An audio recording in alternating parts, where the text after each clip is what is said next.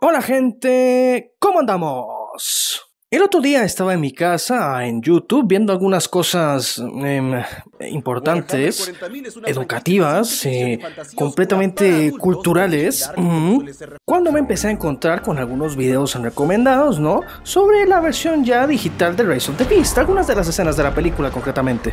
Por lo que empecé a verlas y me dio por revisar los comentarios.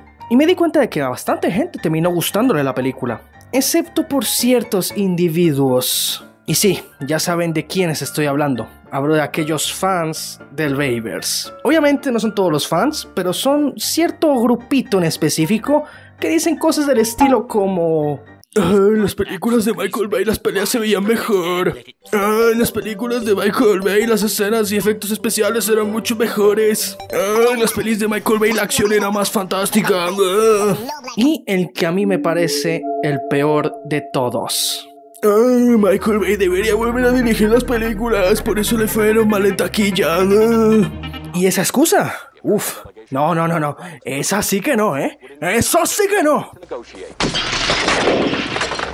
El día de hoy les vengo a presentar algunas razones de por qué este señor, y no solo él, no, no, no, no, también los guionistas y ejecutivos de estas películas no deben volver a tocar nada relacionado a Transformers y mucho menos acercársele en un rango de menos de 5 kilómetros.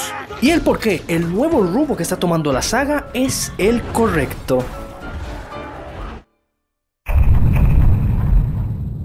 Las escenas de acción. Michael Bay es conocido por ser un director altamente excelente en lo que viene siendo el género blockbuster y lo que viene siendo más que nada el estilo de escenas de acción que él maneja. Es innegable que este tipo tiene un talento, pero hay un problema con las escenas de acción de Transformers. No entiendo un carajo de lo que estoy viendo en pantalla. Esto se debe a varios factores. Número 1. El estilo de grabar de Michael Bay. El estilo de Michael Bay a utilizar la cámara es más que nada de, oh, se mueve aquí, se mueve allá, sigue el personaje, está corriendo, oh, se mueve en constante movimiento. Y al tener una cámara tan, pero tan movida, provoca que por momentos no entiendas qué está pasando en pantalla.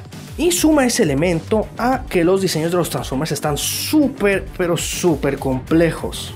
Si bien los diseños del Bayverse, muchos de estos han vuelto muy icónicos a día de hoy, lo cierto es que muchos de estos son demasiado complejos de a huevo. Fíjate tú que Industrial Data Magic, la empresa encargada de los efectos especiales, declaró que muchas veces había piezas que estaban en movimiento y no veías en escena.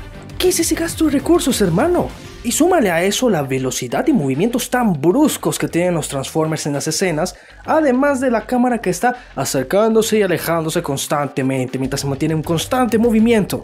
¿El resultado? Una escena donde simplemente lo que estás comprendiendo es que hay muchos pedazos de metal dándose el uno al otro como un toro y sin pastillas, pero sin comprender quién es el bueno, quién es el malo, o siquiera si estás entendiendo que lo que estás viendo es un brazo o una pierna, o siquiera e-, e-, es, es un ser vivo eso. Vuelvo y repito, Michael Bay no es un mal director de acción, de hecho es muy bueno, muchas de sus películas lo han demostrado. El problema de esto es que cuando los Transformers entran en batalla, las escenas están sobrecargadas. Y tampoco ayuda el hecho de que algunos de los Transformers tengan colores tan básicos como el negro, el gris, el beige o ya de plano colores militares. Colores que hacen que no puedas distinguir el Transformer del ambiente. Curiosamente, este efecto solo ocurre en las películas más amadas del fandom, es decir, Transformers 2007 y Dark of the Moon, ya que en estas son las que pasamos más tiempo en las ciudades, a diferencia de Revenge of the Fallen, Age of Extinction o The Last Night, donde la mayoría del tiempo estamos en ambientes rurales. Básicamente el color verde del bosque o el amarillo del desierto logra distinguir de mejor manera lo que estamos viendo, a diferencia de los colores grises o negros de la ciudad. De ahí que las mejores escenas que hemos visto de la franquicia, curiosamente la mayoría, vienen de estas tres películas en específico. Sí, son grandes escenas, pero muchas veces no entiendo qué estoy viendo en pantalla, la verdad. Los humanos siempre son protagonistas. En palabras de Aurelierto Martínez, los Transformers son como un monstruo en una película de monstruos. Son un problema con el que los humanos tienen que lidiar. De ahí que el foco principal de las películas siempre está enfocado en Sam Witwicky, en Kay Jaeger, en Charlie Watson o en Noah y Elena. Pero hay formas de ser protagonistas y formas de ser protagonistas. Suman a eso que la mayoría de veces en las pelis de Michael Bay no es que solo tenemos al humano protagonista de turno, que independientemente si te llega a caer mal o no, tarde o temprano terminas encañerándote con este. Como es el caso de Sam o en el caso de algunas otras personas como el caso de Kate Jaeger. Es más que nada la inmensa cantidad de humanos en estas películas que muchas veces no aportan nada a la trama o que simplemente están ahí de fondo para rellenar escenas. Y cuando introducen personajes interesantes y piensas que estos van a tener un protagonismo importante, sorpresa, no los vuelves a ver. Y esto no es tanto culpa de Michael Bay, esto es más culpa de los pinches guionistas que creen que los Transformers no tienen personalidad y que no tienen la suficiente fortaleza o carisma para poder ser protagonistas de una historia, cosa que películas como Bumblebee o Rise of the Beast han demostrado completamente lo contrario. Y súmale también que las motivaciones de estos protagonistas muchas veces no, no llegan a conectar del todo con nosotros. Literalmente Sam durante la primera película su única motivación era ponerla. Sí, que una minita le hiciera caso y ponerla. Mm, mi recuerdo a mí. Motivación que fue arreglada en su tercera película, donde de no ser por él, los Autobots jamás se hubieran dado cuenta de los planes que tenían los Decepticons con los Pilares y con Sentinel. Pensaría que después de la tercera película seguirían con un tren de pensamiento similar en darle una funcionalidad más importante a los humanos, para luego deshacerse de Sam y reemplazarlo con Kate Jaeger.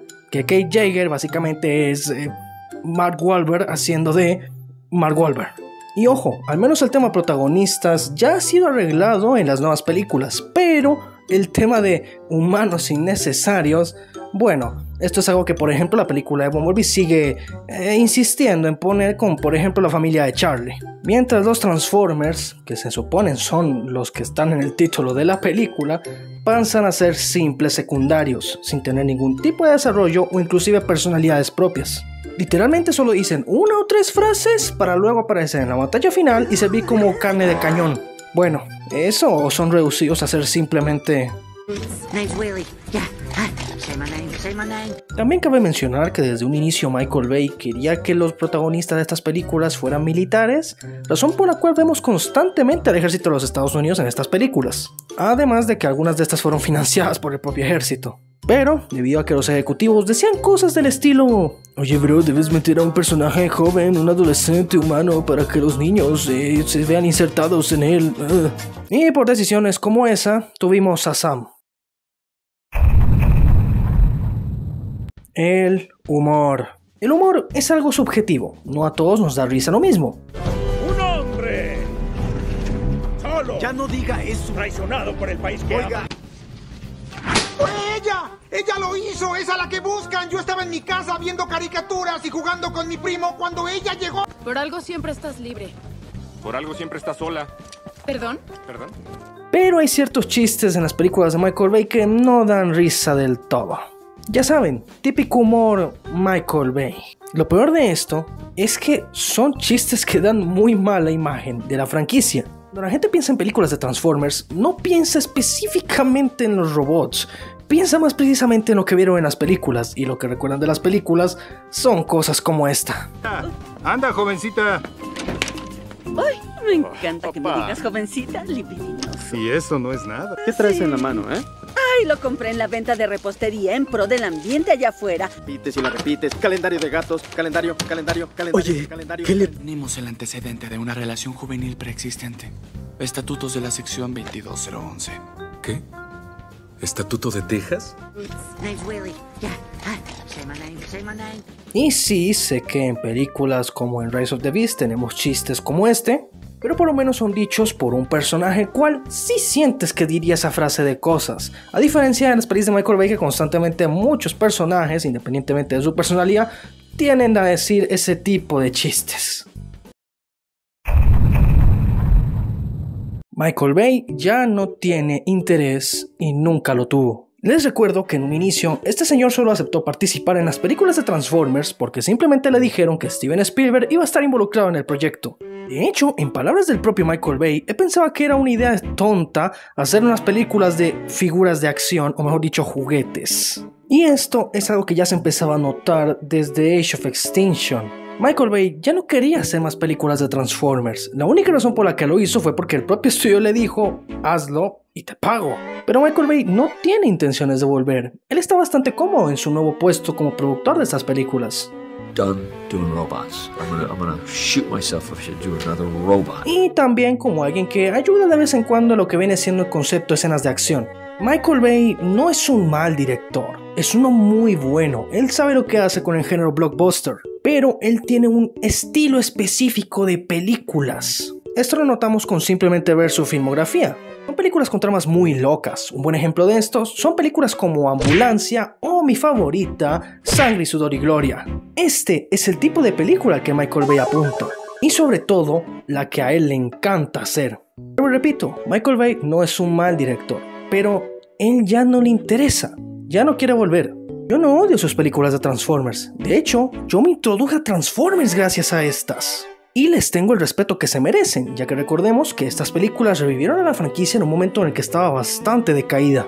Pero también debemos ser conscientes que las últimas dos películas que hizo este señor fueron las que causaron principalmente una casi muerte de la franquicia. Es por eso que me encanta el nuevo rumbo que están tomando este nuevo universo, con Transformers más protagonistas, con humanos que son mucho más funcionales, con un humor que es mucho más familiar para la gente con escenas de acción que podemos comprender perfectamente y que inclusive muchas veces son bastante geniales. Aunque en el caso de películas como Rise of the Beast se nota que la acción se puede mejorar aún, con historias mucho más sencillas, pero bastante efectivas. Chicos, Michael Bay ya no va a regresar. Y eso está bien, eso da paso a que la franquicia vaya por un nuevo rumbo, un rumbo bastante luminoso. Solo espero que nuestro querido Miguel Explosiones Locas Bahías le vaya bien y que siga haciendo lo que a él más le encanta hacer, cine de acción puro y duro, sin necesidad de pensar mucho. Y gente, hay que abrirnos los ojos, quitarnos las vendas y ver tanto los aspectos positivos como negativos de las películas de Transformers de Michael Bay. ¿No te parece lo que te he comentado aquí? Por favor, déjame tu opinión abajo en los comentarios y exponer tus puntos de por qué crees que Michael Bay debe volver a la franquicia. Y si quieren que haga resúmenes o reviews de las películas de Michael Bay, por favor, déjenmelo saber abajo en los comentarios. Y como siempre, el momento saludos. Un saludo para Toy Freddy XD, Víctor Alfonso Cardenas, Benjamin Benji, Drecot, User GS, Sebastián Biesaga, hablando de que con Ricardo, Richie, Leonardo Martínez y Kaito Dai. Me gustaría hacerte una pregunta, querida o querido espectador, y es para ti, ¿cuál fue la mejor y la peor película de Transformers de Michael Bay? Si el video te gustó, por favor dale a like y suscríbete si quieres ver más videos como este. Yo soy Mr. Totomamoto y aquí estaré yo, esperando a ver qué nos espera esta nueva saga de películas. ¿Cómo sabe que este nuevo universo le irá bien, señor? ¡Hey, Alfred! ¡Hey!